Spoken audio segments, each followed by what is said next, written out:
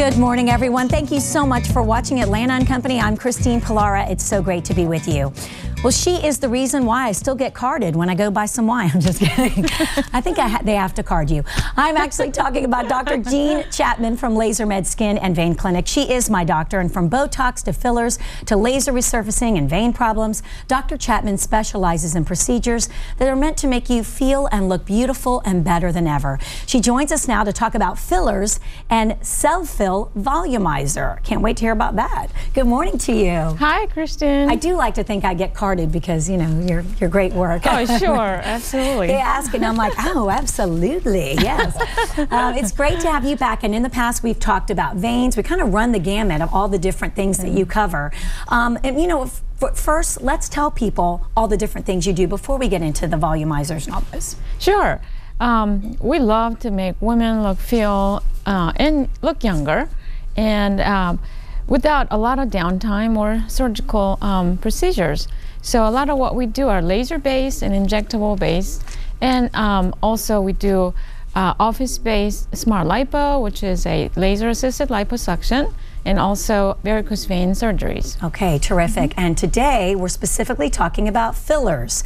And first of all, tell people who are not familiar with that, what are fillers and uh, what are the different kinds that you have in your office? Sure. Um, unfortunately, as time goes on, we tend to lose uh, some of our natural volume in the upper half of the face and tends to sag down. And um, for that reason, we start to have some thinning in this temple area, okay. under the eyes, mm -hmm. and cheekbones are also thinning to show more bony figures rather yeah. than the round, nice contour. So fillers are used to fill those areas as well as people that have really thin lips uh -huh. we could use fillers to plump up the lips as well okay terrific and what kinds are out there? Um, is this Cell-Fill i'm not familiar with that one is that a new filler that's been out for or for how long has it been out uh, Cell-Fill has been used in medicine for many, many years, but it got FDA approval for cosmetic use uh, just two years ago. Okay. Uh, we do have other uh, fillers that we've been using. Um, I have been using Restylane, Perlane, Juvederm. Sure. Um, now those also, I've heard of, yeah. Yes, Sculptra, uh, Radiesse. There are many others out there. Uh, nonetheless, what's different about Cell-Fill is the fact that we actually harvest the material from you. Oh, nice. And we draw blood and actually spin it down and just get what's called PRP, which is plasma um, out of that material and inject back to where uh, you need it. Fantastic. And what's the process like? After you go ahead and, and extract from our body, then what do you do? You can, uh, is it the same day? You go ahead and put it in our face? Yes. Cool. Believe it or not, the whole thing only takes about 20 minutes. So you come in and we draw blood, blood from you and the processing it takes about five minutes. And then we actually have exactly 10 minutes uh, before it actually start to congeal to inject back into you.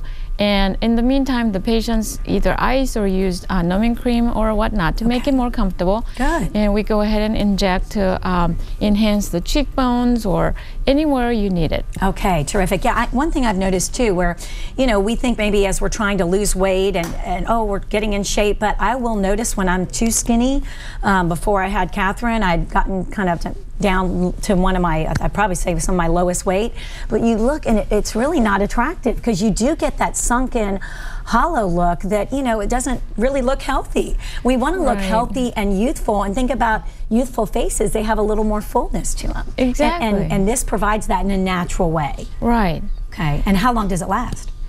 Um, the research specifically geared for the cosmetic use, um, of course, only has been out for a couple years. So that's all the data that we have. Nonetheless, uh, what I've seen in the last two years is that the material uh, does last uh, at least 75% at two-year follow-up a two-year follow-up. That's yes. really good. Mm -hmm. and what are people saying about how are they feeling when they leave the office? And then when do they really start to see the results? A week later a few days later? Because this is a volumizer which is slightly different fillers. Uh, people actually get confused with that.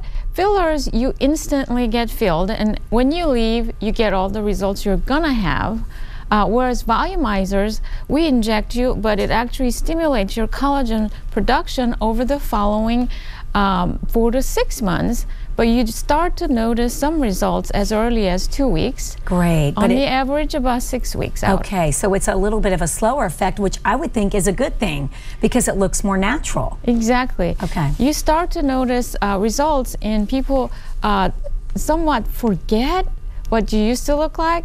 And a lot of times, when they come back and we see the photos, they go, wow, that is amazing difference. Let me ask our director, Kevin, because I, I think he put up a photo, but I was so busy talking to you. I, I think you have a before and an after of one of our patients who had uh, the filler done there.